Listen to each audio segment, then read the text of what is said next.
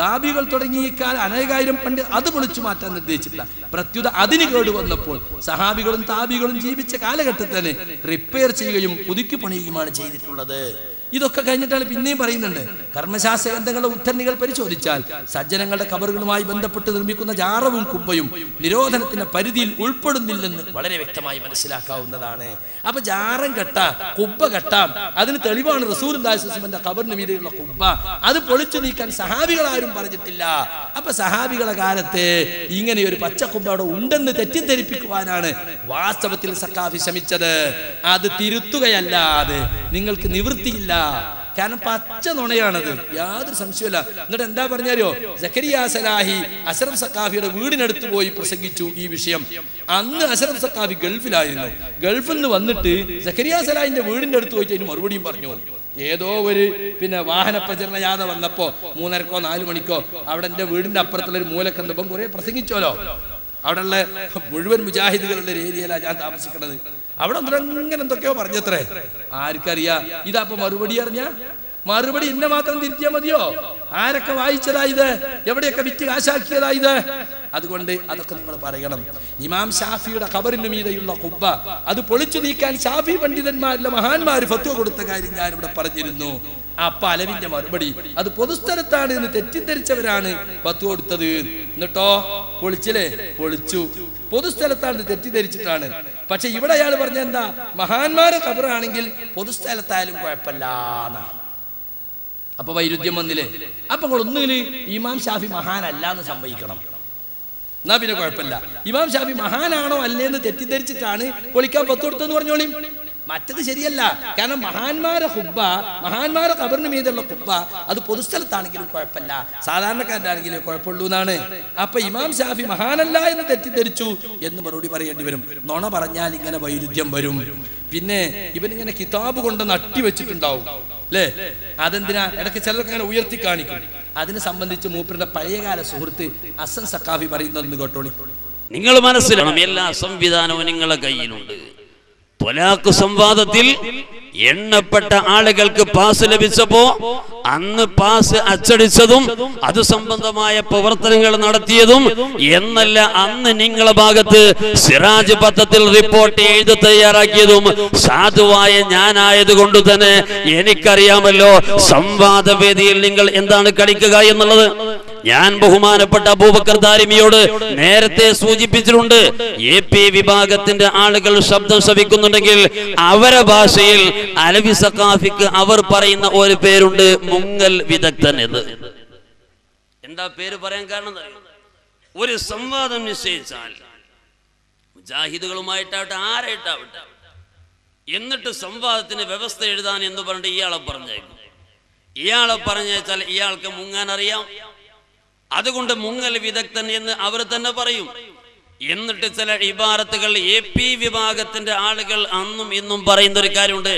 അലവി സക്കാഫി ഒരു ഇബാറത്ത് വായിച്ചാൽ അവർ തന്നെ പറയുന്ന ഭാഷയിൽ പറയട്ടെ അത് അലവിന്റെ തൂഫല്ലേ എന്നാ പറയൽ.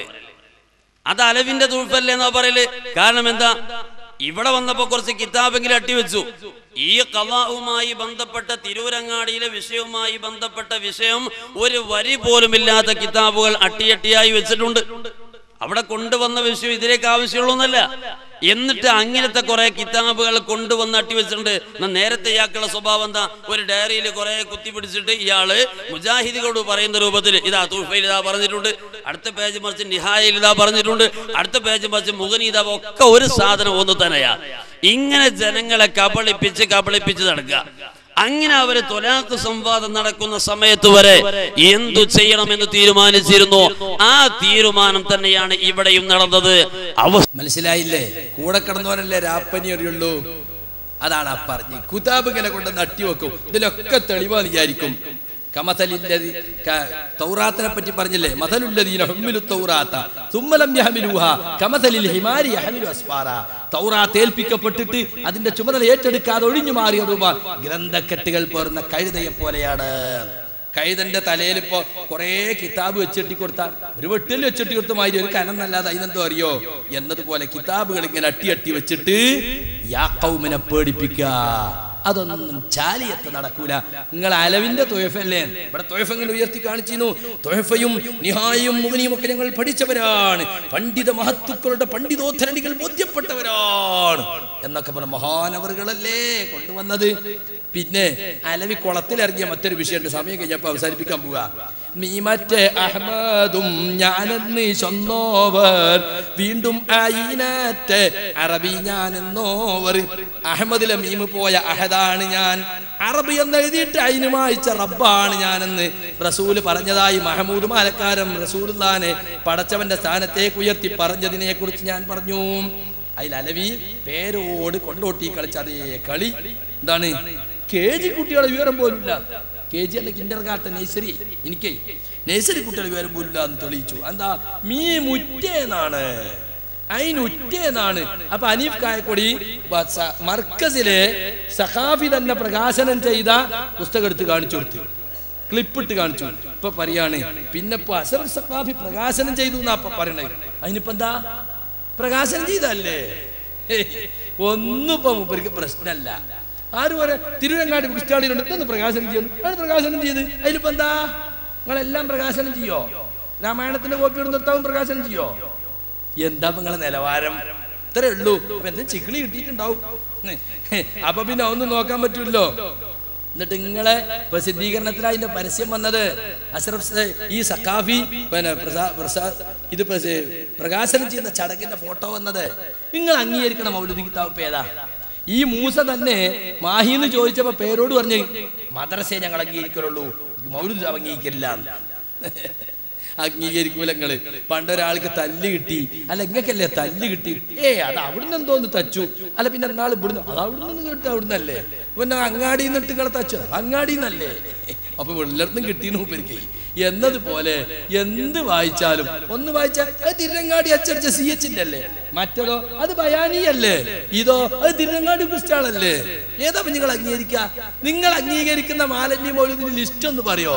നിങ്ങളെ കൊണ്ട് അതൊക്കെ പറയിപ്പിക്കും ഞങ്ങൾ. കൊണ്ടുപാടോ പഴയ കോപ്പി മീ മുറ്റേന്നുള്ളേ എന്താ കൊണ്ടുവരാത്തത്? മീ മുറ്റേന്ന് ഇവിടെ തെളിയിക്ക്. എന്നിട്ട് ഇവർ ബോർഡിൽ എഴുതി കാണിക്ക. ഞാൻ പഠിപ്പിച്ചു കൊടുക്കട്ടെ. ആ മീ മകളെ മോനെ. അറബി. അതിന് വായിച്ച? റബി. കണ്ടോ? അപ്പൊ മീ മുറ്റ അഹമ്മദ് എന്ന? ഞാൻ മീമുള്ള അഹമ്മദാണ്. അയിനുറ്റ അറബി എന്ന അയിനുള്ള അറബിയാണ്. അപ്പൊ അനീഫ ചോദിച്ച് മീമില്ലാത്ത അഹമ്മദ് ഉണ്ടാകുമോ അയിനില്ലാത്ത അറബി ഉണ്ടാകും എന്ന് അതൊന്ന് കാണിക്ക്. മീമില്ലാത്ത അഹമ്മദിന് ഒന്ന് കാണിക്ക് ബോർഡിൽ അയിനില്ലാത്ത അറബി എന്ന് കാണിക്ക്. എന്നാ പിന്നെന്താ? നിങ്ങൾ പറഞ്ഞ പോലെ ആണെങ്കിൽ മീമുള്ള അഹമ്മദ് എന്ന് പറയണോ? ഹാ ഉള്ള അഹമ്മദ്. ദാലുള്ള അഹമ്മദ്. ഹംസുള്ള അഹമ്മദ്. അതൊന്നും പറയാത്തെന്താ? അതിന് ഇയാൾ പറയാണ് അത് പവർ ഉള്ള അഹമ്മദാണ്. അതുകൊണ്ട് എന്താ പവർക്കൽ ഉണ്ടാക്കണല്ലേ ഏയ് റാ ഇല്ലാത്ത റാ ഉള്ള അറബി എന്ന് പറഞ്ഞോ? ബാ ഉള്ള അറബി അയിനുള്ള അറബി എന്നാ പറഞ്ഞത്. അപ്പൊ അയിനുള്ള അറബിക്കാണ് പവർ എന്നിട്ട് ഇയാൾ പറയാണ് അങ്ങനെയൊക്കെ ചിലപ്പോ പറയും. അയിനുള്ള അറബി എന്നും ചിലപ്പോ പറയും. അത് ഏത് പോലെയാണ്? ചിലപ്പോ നമ്മൾ ഗൈന് നെയ്തും. ഏയ് ഗൈന് എന്നുള്ളൊരു വാക്ക് ഗൈന് വരുന്ന വാക്ക് ഉപയോഗിച്ചിട്ട് ബിൽ ഗൈനിൽ മൊയച്ചമത്തി പുള്ളിയുള്ള ഗൈനുണ്ട് എന്ന് പറയും. ചിലപ്പോ സാ ഇട്ടിട്ട ഒരു വാക്ക് കൊണ്ടുവരും. ഇപ്പൊ സുമ്മ അല്ലെങ്കിൽ വേറെ ഏതെങ്കിലും ഒരു മബ്സൂസ് എന്ന് പറയും. മുസല്ലസത്തി മൂന്ന് പുള്ളിയുള്ള സാവ് ഉണ്ട് എന്നൊക്കെ പറയാറുണ്ട്. ഗൈന് എന്ന് പറഞ്ഞാൽ പിന്നെ പുള്ളിയുള്ളത് എന്ന് പറയണോ? സാവ് എന്ന് പറഞ്ഞാൽ പിന്നെ മൂന്ന് പുള്ളിയുള്ളത് എന്ന് പറയണോന്നാ? അങ്ങനെയൊക്കെ ചിലപ്പോ പറയും. എപ്പോ? സംശയം ഉണ്ടാകാൻ സാധ്യത ഉള്ളപ്പോ കാരണം ആ വാക്ക് അക്ഷരത്തിന്റെ പുള്ളി പോയ അയിനാവും. അപ്പൊ അർത്ഥം മാറും. മനസ്സിലായില്ലേ? അതുപോലെ സായിന് പുള്ളി പോയാൽ വേറെന്തോ ആയിപ്പോവും. ചിലപ്പോൾ രണ്ട് പുള്ളിയാണ്